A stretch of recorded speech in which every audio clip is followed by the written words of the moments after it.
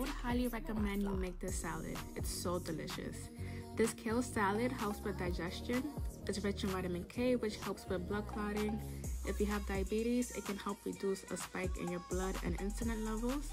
It helps to combat constipation and it also helps with weight loss. I suggest you make one of these and receive its amazing benefits.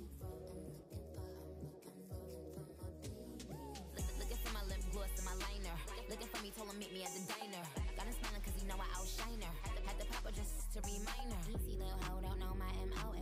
Went your nigga, then just let him.